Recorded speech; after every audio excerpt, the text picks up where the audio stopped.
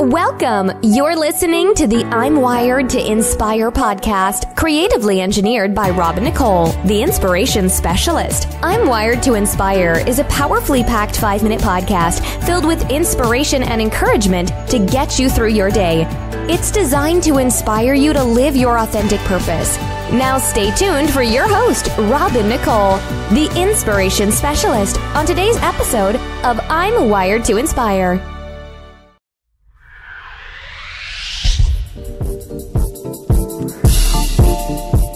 I'm Wired to Inspire, Mentor from Afar with Robin Nicole, the Inspiration Specialist.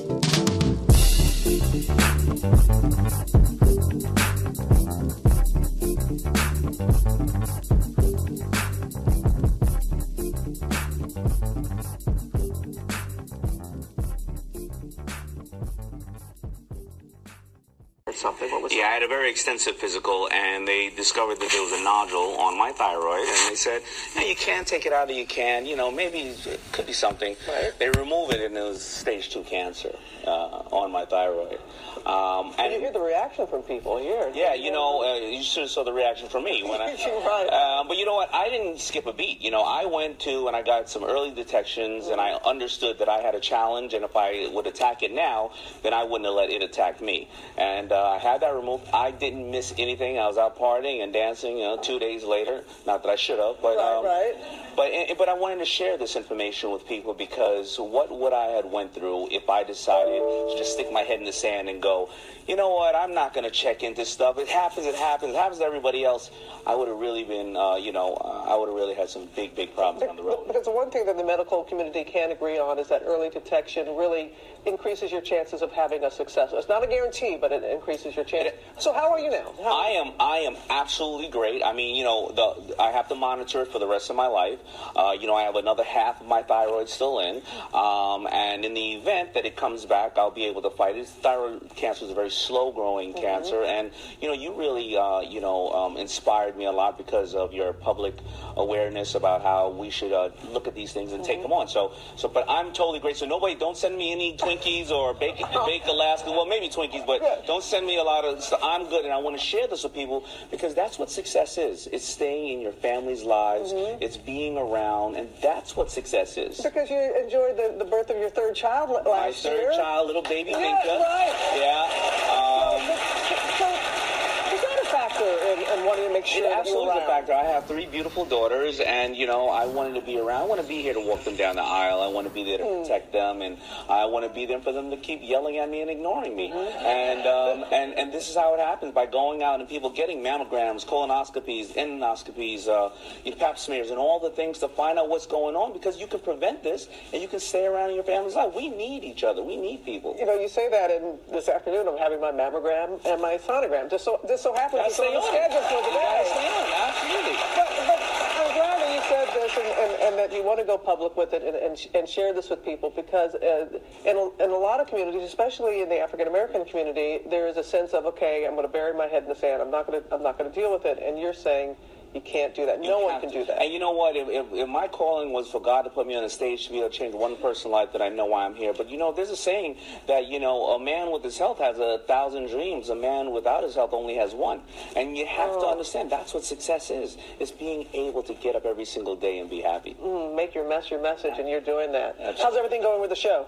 The show is great. Our finale's coming up this Friday. Kevin O'Leary's still a really bad, mean person, um, and everybody. He's not even nice to you after all this. No, no, not at all, not at all. And uh, you know, and you know, we're making people uh, hopefully rich and or uh, their dream come true, and they're going on and hiring other people. And you know, it's really been a good run. Shark Tank has been so good to me and to so many others. What 200 episodes? We're going to come up on our 200 episodes. Yeah. Thank you. Thank you. Thanks thank for having me. Thank you. Thank you for sharing this very, Absolutely. very important message. Yes. And if you have a loved one, you're out there, just not you, tell your parents, tell your kids make sure you you go out there and get Thank yourself done. Thanks so much. Wow. So I bet a lot of you who tuned in to listen today, you probably had no idea that I was going to come that way with the story about Daymond John. To be very honest with you, I didn't know how I was going to come with the with the uh, story about Daymond John. Um, Mentor from afar, God had given to me in 2017. So as you see different people pop up, I had already had these dates and, and, and photos and everything already planned out since 2017. And now I'm just shelling them out for the year 2018.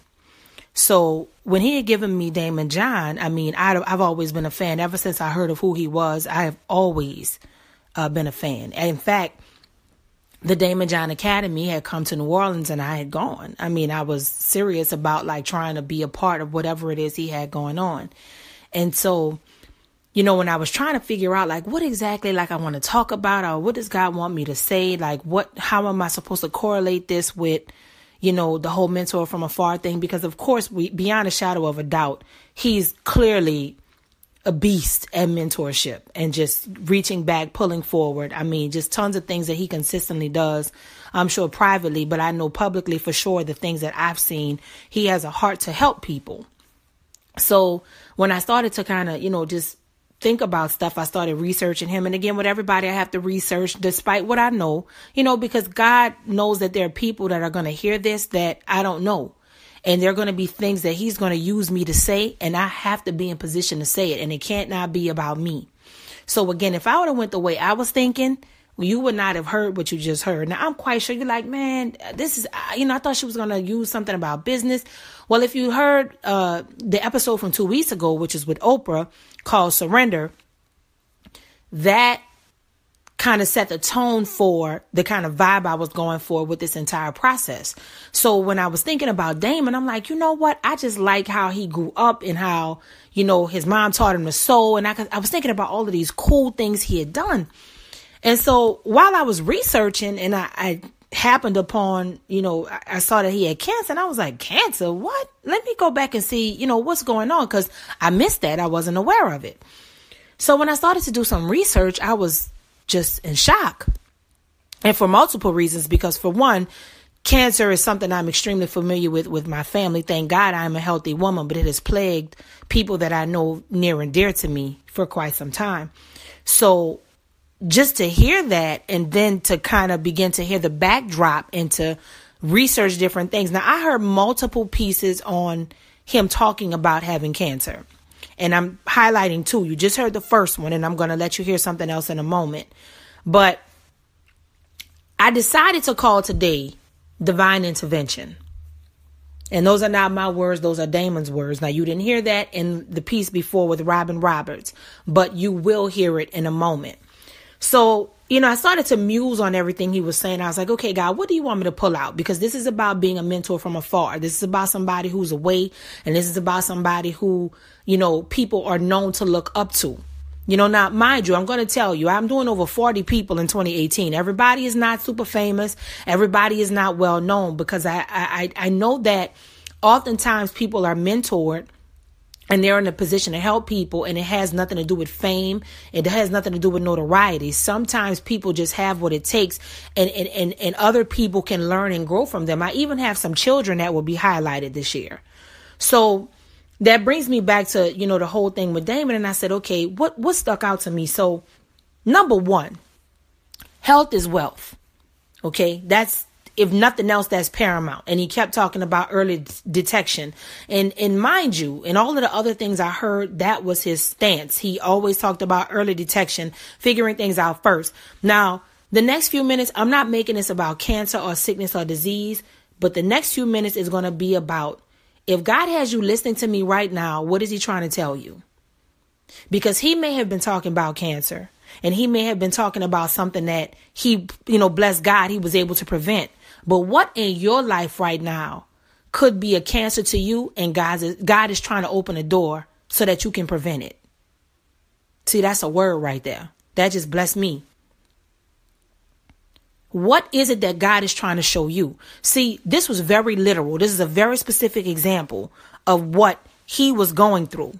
Okay. And he was very clear about it being cancer. He was also very clear about, okay, once we figured out what it was, I don't want to make this a thing. Like, you know, y'all don't have to like, you know, baby me or do all these other things. Not that he wasn't appreciative, but he realized that when he cut the fat, he cut the cancer, he had to keep it moving. He didn't want to let it, you know, keep him down. Okay. So what is it that is cancerous in your life that you are allowing to keep you down right now? What is it? Are you you worrying about a relationship? Are you worrying about money? Are you worrying about something that you could possibly change, but you just haven't had the courage or even the wherewithal to change it? Think about it. You know, one of the things that I, I, noticed also when I was doing research, and I would encourage you guys, go to YouTube, Google, whatever your source is, and look up some more of the, the articles and interviews that he did concerning this because I was able to piece together a lot of stuff. That Robin Roberts interview was very short. I was trying to find something longer, but I was only able to get that and another piece of something that I thought would add value to what, you know, we're talking about right now. But think about this he had come to a place in his life and his career where he is this big international mentor. Everybody knows all of these things about him, and he's always a boss. He's always balling. He's always well put together, suited and booted. He'll, you know, he'll outbid anybody in the room, rich family, friends, all of these things, right?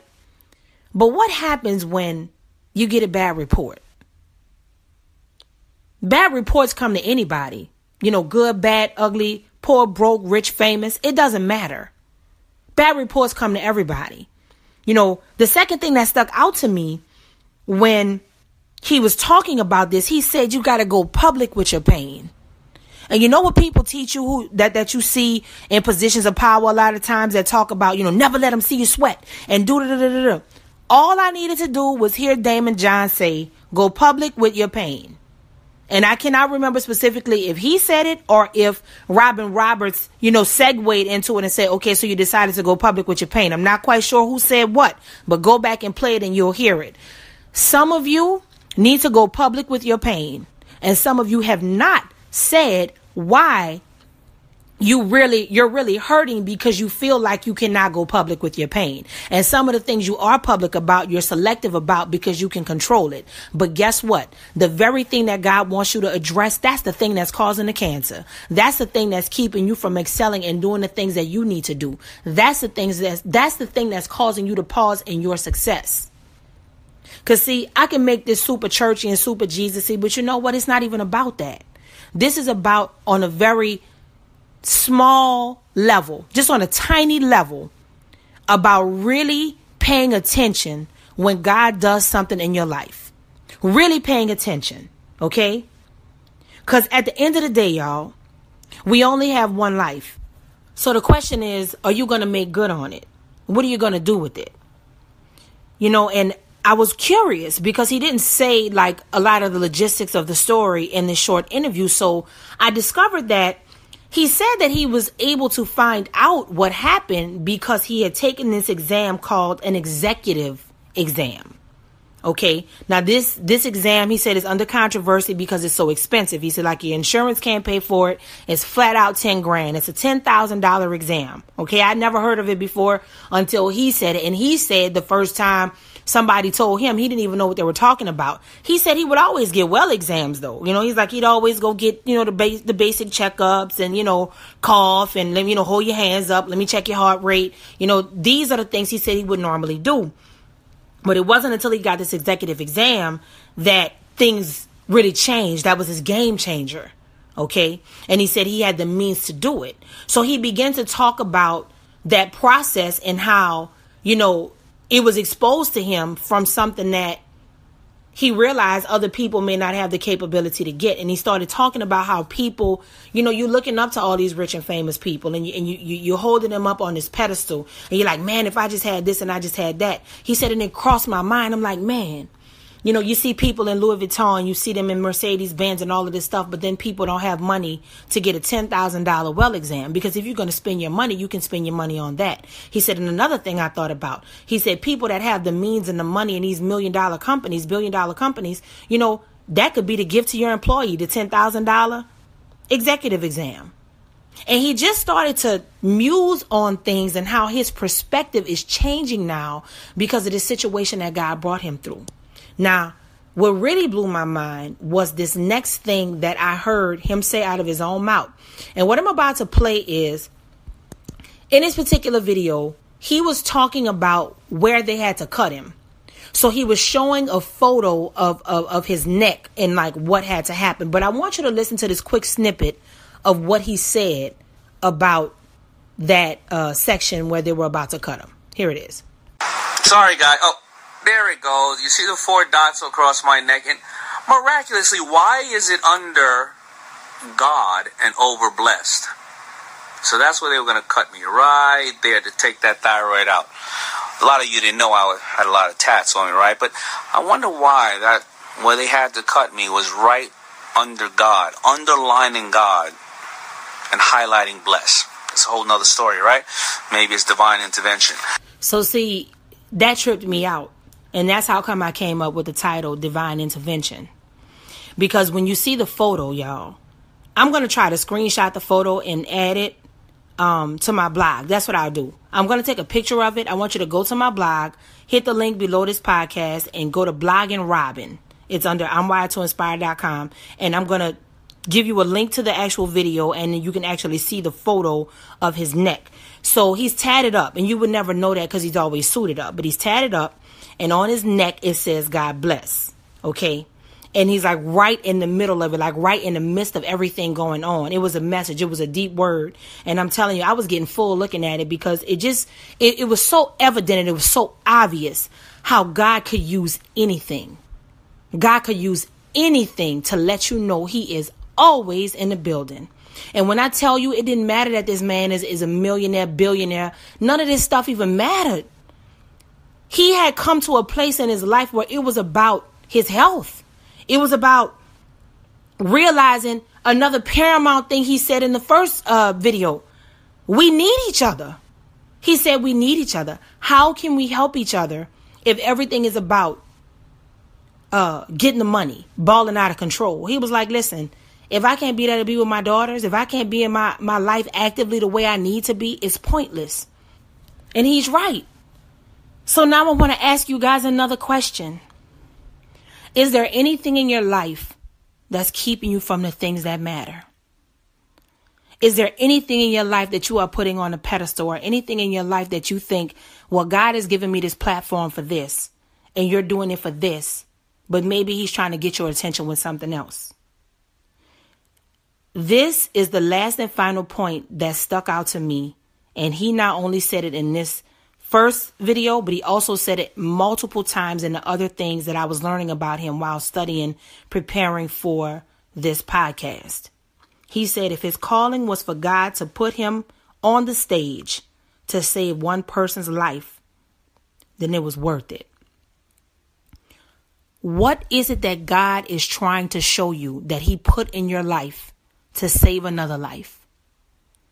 I literally heard this man say, something to the effect of maybe this is why all of this happened. This is why I'm in this position. This is why I have fame, money, whatever, just to be able to save lives because of this. Now, when I think about a mentor from afar, I already know it's not a person that I literally see and talk to every day. Or they, they may not even know me, like in this case. Well, let me say this. He does not know me yet but we're going to be nice and chummy. I'm speaking and I'm claiming that because that is somebody that I genuinely have in my inner circle. He just doesn't know it yet. But I will say this to you it is very important that as God is strategically setting you up to even hear stuff like this, understand something. The antennas are up, the ears are open, and the stage is set. God is using people from all walks of life. He's using people in the most peculiar circumstances to not only give him glory, but he's teaching us how to teach others. And that's why when I think of Daymond, it's far beyond FUBU and it's far beyond uh, Shark Tank and all of these other things. And even with even with his uh, relentless desire and calling to help people in entrepreneurship and business and to see their dreams come true and to create wealth for not only for himself but also for his family and for other people's families.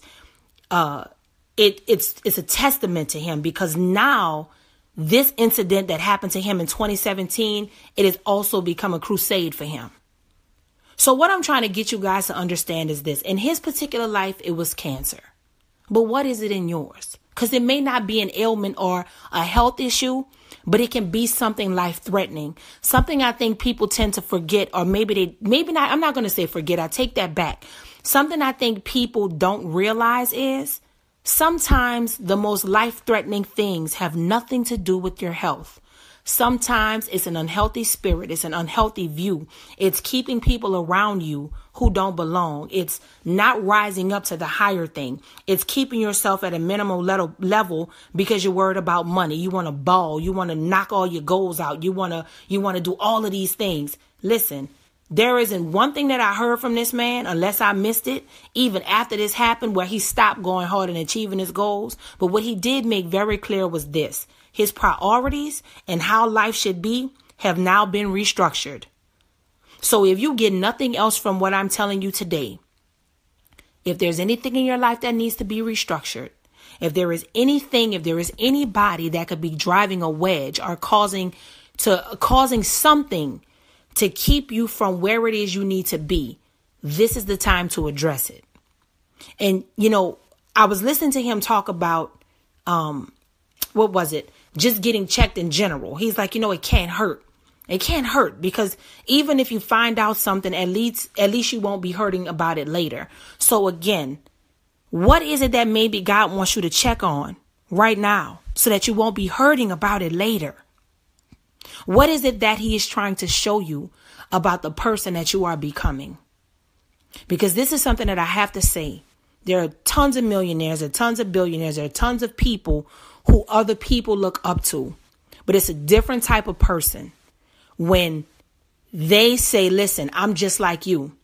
I may have taken my opportunities and I may have done this and I may have done that, but let me show you something. I'm just a man. I was sick you know, I didn't go through any hard process. The Lord was able to find this cancer, take it out of me, and I kept it moving. So, you know what? I'm going to show y'all better than I can tell y'all. I got my life, I got my health, and I'm going to help you to prevent this from happening to you. Not everybody is willing to do that. Not everybody is willing to say, hey, listen, this is what it's really like. I might be your mentor, I might be somebody that you look up to, but what I want you to do is this value your family, Value your life. Value the things that you are doing that are not frivolous. Life is not about frivolity. Life is about family. Life is about making memories. It's about joy. It's about happiness. It's about actually living.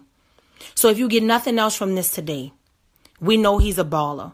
We know he's a boss. We know that he's all of these great things. But today, when you think about Daymond John, I want you to think about how he's a grown man and he's a man that was vulnerable enough to deal with the bigger issue. What is it that you're dealing with? That's the bigger issue that you've been too afraid to address. Now is the time to do it. I wish you courage and I pray that you can hear God clearly. I pray that if there are any barriers or any walls that are keeping you from looking at the greater good, the higher level that God is taking you to, I pray that you can see that. Because once you can see why God has you here, that even if you might, you may be successful, you may be somebody you're trying to become successful. It does not matter who you are listening to this. If you have everything and if you have nothing, the thing that I want you to be encouraged about is this. This story today with this man was to wire you and inspire you to live your authentic purpose. This was not about you listening to me, and this is not about you being like Daymond or him even being a mentor. It's about you understanding that you have what it takes. And if God is trying to get you a message to, to think about what your motives are behind what you're doing. If you need to dig deeper, if you need to change some things up, or if you're right on par with what you're supposed to be doing, don't be afraid to do it. Don't be afraid to do it. Because guess what? Your purpose is not just about you. We are never put on this earth for it to be about us. And so I want to wrap up reminding you guys with the points that stuck out to me with our mentor today. And it was that your health is wealth. Success is about being out there with our families and enjoying their lives and enjoying our lives with them. A reminder that we need each other. And y'all don't forget, sometimes it is okay to go public with your pain. And lastly, if there is something that God is telling you to do that may have been life changing or life threatening, it could be the very calling that God is giving you to set the stage for change. I'm wired to inspire. I hope you are too. Thanks for listening to I'm Wired to Inspire podcast at I'mWiredToInspire.com. If you enjoyed the show, spread the word and be sure to hit the five star rating on iTunes. For more information on this podcast and inspirational products and services, log on to the inspirationspecialist.life or I'm wired to inspire.com. And remember to live your authentic purpose. Thanks again and see you next time.